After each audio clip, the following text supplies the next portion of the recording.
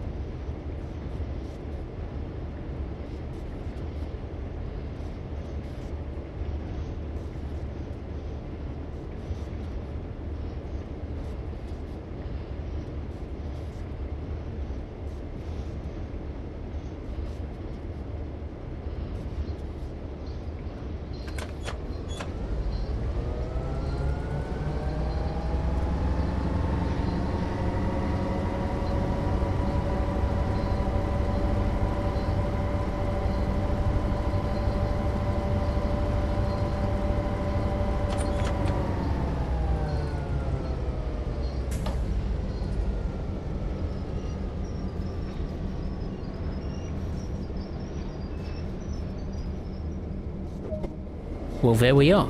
That concludes this episode, part 5 of the first Moss turn. If you'd enjoyed this video, make sure to give it a like and please subscribe if you are new for more videos not only on the Clinchfield Railroad but in this series as well. And as always, I will see you next time. Thank you very much. Take care.